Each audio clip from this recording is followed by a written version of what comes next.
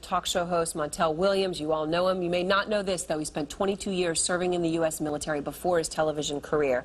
You just heard Jay Carney. We're waiting to see the review. Well, see, this is the problem. It's still the political conversation, and guys are dying every day.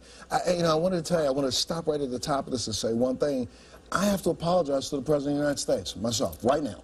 I have to do so because yesterday I made a statement about something that he didn't say at the speech at uh, West Point.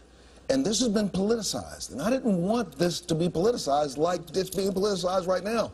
We're not talking you were about the truth. You said he didn't talk about this VA scandal at, well, at West all I wanted him to say and I didn't write a speech, but I was saying the point was I remember sitting at the United States Naval Academy listening to the keynote speech of my graduation, getting ready to throw my hat in the air, and I would have loved to at this time heard from the President of the United States say, no matter what you see going on with the VA right now, I'm going to guarantee you we have your back. This will never happen moving forward. Because those guys have got to walk out of West Point and get ready to go fight the battle that both sides of the of, of Congress and Senate are trying to put us into in Africa, in the Ukraine. They're trying to send more boys off to die, and we won't even settle the problem here. Erin, please, look, I, am telling you, I don't, I'm, this is not going after the president.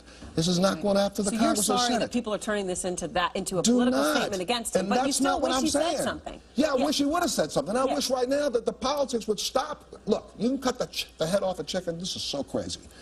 I was at a party, my brother told me this stupid story. There's a chicken that was called Magic Mike. They cut the head off the chicken. That chicken lived for 19 months. They fed the chicken through an eyedropper. I'm not kidding you. They took it around the carnivals. This was a terrible thing to do.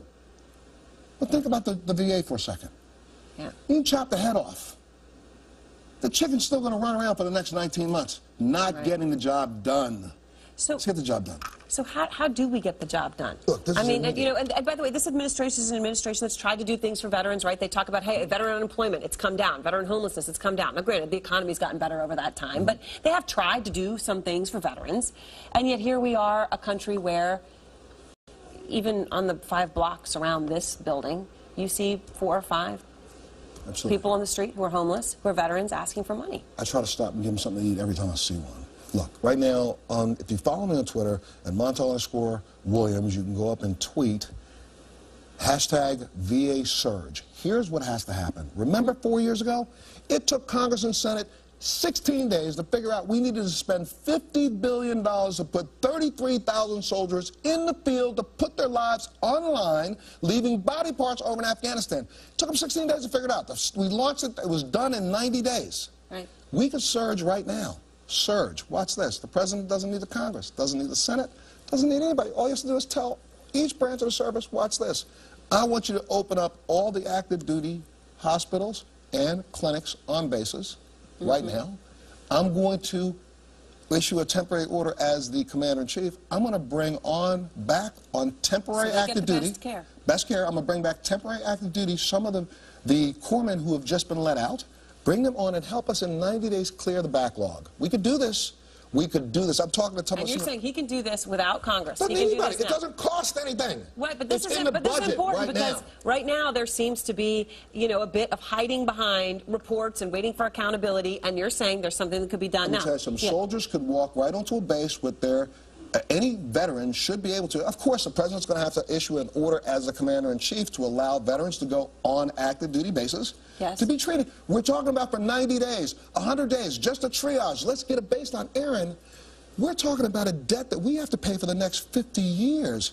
We don't even know what the baseline is. There are guys who haven't been seen for two years. They went out. They went out as an amputee. They have seven maladies right now, and we don't even know what it's going to cost to take care of them. So Well- we need to do something and get the politics out of it and start today. Well, and we could do that today. The bottom line, though, is, and I, I see your point about the chicken. I think it's a it's a it's sorry, a horrific it's analogy, horrific. but I think the fact that it is so horrific is actually in this case That's very appropriate. this is. It's very appropriate in this case. But should the top still go? Of course. So he should go, no let me tell matter what. I mean, that's just a fait accompli at this point. Look, I, I remember distinctly when I served as an officer, I'm the head, uh, the, uh, the, the commanding officer, the buck stops with me.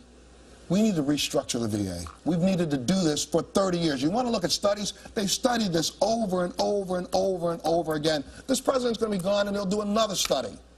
Stop the stupid. Please, Guys are dying. You know what's one of the most ignorant things that's going on right now?